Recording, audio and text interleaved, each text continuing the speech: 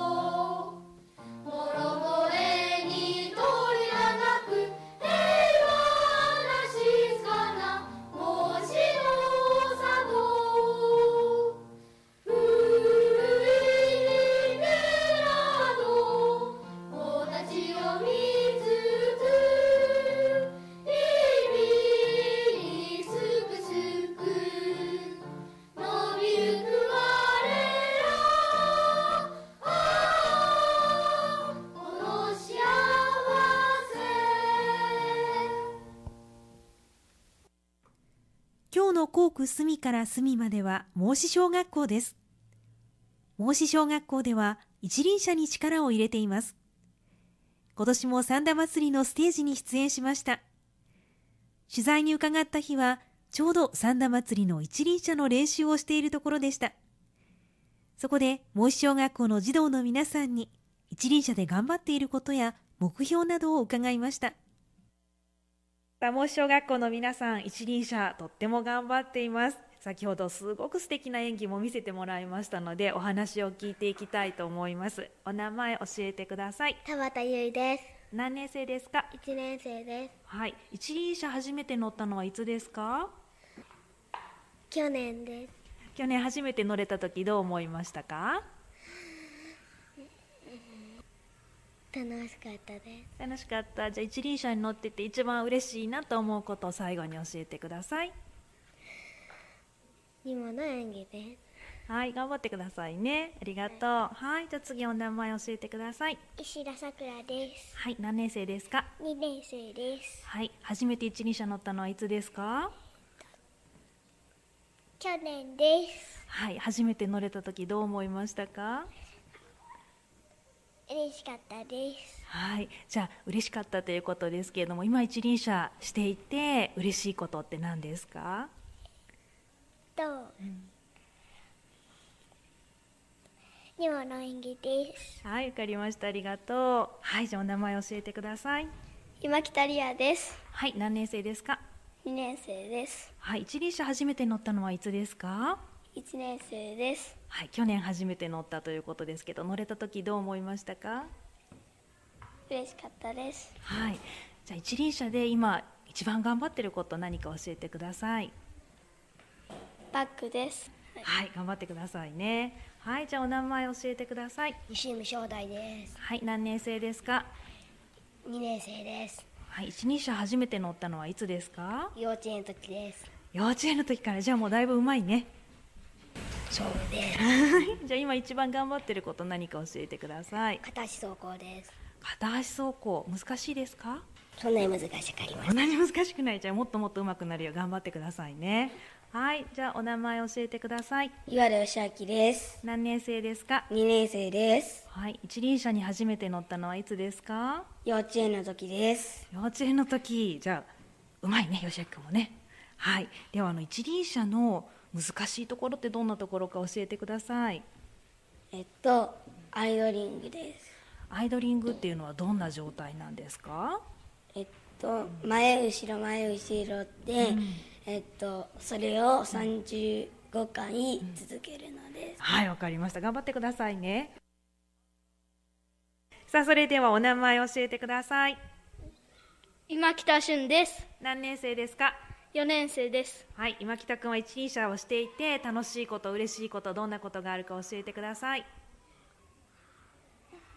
早くい行ったら楽しいことです。早く行くっていうのは早く漕ぐってこと？はい、はいそうです。スピードが出る。はい。はいわかりました。じゃあ反対に難しいなと思うところを教えてください。歩いてたらできることが、一輪車に乗ったらできないことです。そうだ。よねわかりました。じゃああの今北くんの得意技を教えてください。横乗りと片足です。横乗りと片足はどんな技か教えてもらえますか？片足は、乗ってる時に一個の足でこぐたこぐところです、はい。横乗りはペダル横から乗せることですはいわかりました。とてもなんか難しそうですね。はい。ではあの元世界チャンピオンの小山みゆき先生に教えてもらってどんな風に思うか教えてください。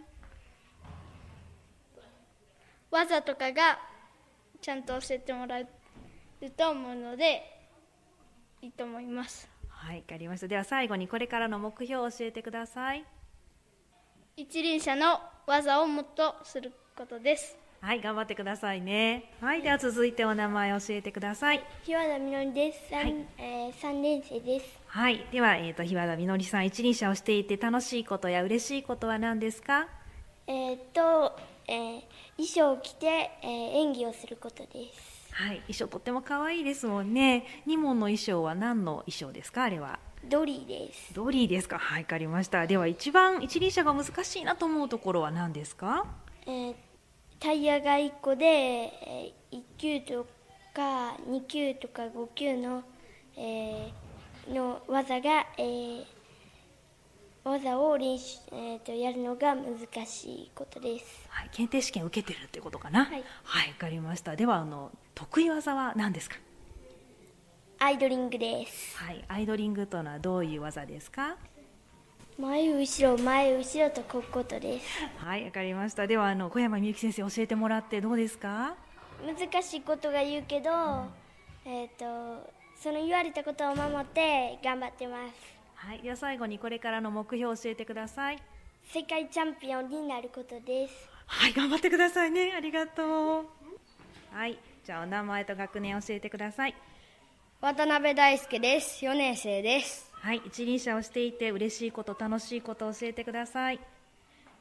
嬉しいことはあたくさんの技ができるようになることで楽しいことはあたくさんの技で遊べるようになることです。はいわかりました。じゃあ難しいなと思うところありますか？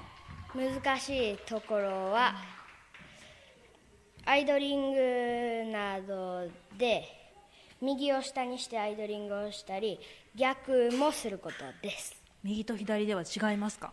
はい。ああそうなんですね。じゃあ得意技は何ですか？僕が得意な技は後ろ持ちと片足です。はいそれはどんな技ですか？片足は片方の足をを離してこぎます、はい。後ろ持ちははい。サドルを抜いて後ろに持ってこぐことです。はいわかりました。ではあの小山由紀先生に教えてもらって感想を教えてください。えーっと世界チャンピオンなので僕もあんな風になりたいです。はいじゃあ最後に目標を教えてください。えーっと全ての技ができるようになりたいです。はい頑張ってください。ありがとうございます。はいそれではお名前と学年と教えてください5年の日和田彩奈です。はい。小学校でね一番先輩ということですけれども今は一輪車の演技練習していると聞いているんですけれどもどんなものなのか教えてもらえますか？演技はいろいろな技を入れて手をの振り付けをつけたりすする演技です。はい。何か曲は決まってるんですか？曲はいろいろあってそれに合わせてします。はい。ということで今年はどんな演技発表になりそうですか？今年はニモの演技をします。はい。衣装もとても可愛いですもんね。それはいつ発表するんですか？それは8月の2日の三田祭りで発表します。はい。では演技の目標を教えてください。目標はいろんな技を入れることです。はい。さあそして三田祭りの後夏休みには一輪車の検定会があると聞いてるんですけれどもいつ行われるんですか？8月の30日にします。はい。この検定会に参加できるのはどんな人ですか？7級からエキスパート1級の技ができる人ですはい7級からエキスパート1級ということですけれども検定会ではどんなことするんですか？片足とかアイドリングとかをします。はいわかりました。綾菜さんは今回は検定会を受けるんですか？受けます。はい何級受けますか？4級を受けます。はい4級ではどんな技をしないといけないんですか？4級では横乗りとかスピンとかをしなければなりません。はい頑張ってくださいね、ではあの最後に検定会を受けたいと思っているお友達にメッセージをお願いします。いろいろな技ができると楽しいので受けに来てください。はいありがとうございました。今日の校区隅から隅までは孟子小学校でした。一輪車の検定会が8月30日土曜日に行われます。一輪車を練習されている皆さんレベルチェックレベルアップにぜひ一輪車検定会に参加してくださいね。校区隅から隅までこの番組は毎月第2第4土曜日の10時45分頃から放送しています。再放送は翌日曜日の夜7時からと月曜日のお昼12時から行っています。次回の校区隅から隅までは9月です。9月13日土曜日向小学校の登場です。次回もどうぞお楽しみに。